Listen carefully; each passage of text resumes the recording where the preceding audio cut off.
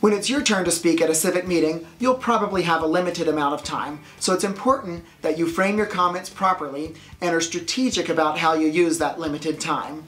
The first strategy for public speaking is to relax.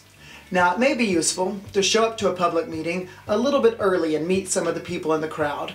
The reason for this is that you won't be in a rush when you're arriving, but you'll also know some people in the room. And start by introducing yourself and saying where it is you live. This is important so that they know that you're a constituent.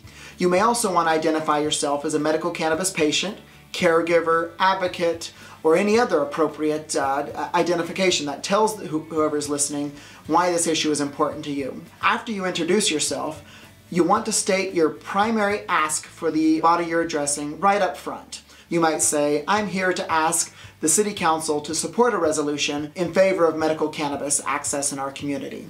That way your uh, thesis is on the table right up front. You can use the next minute or so supporting it or making secondary points. Why it is important to you, or what it would mean for your community, but remember to stay exactly on topic and to be very brief here.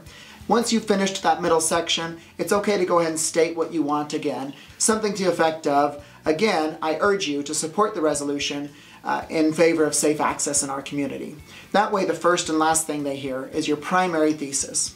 And then of course, as your time expires, please say thank you. Remember, it makes a bad impression if you try to keep speaking after your time has expired.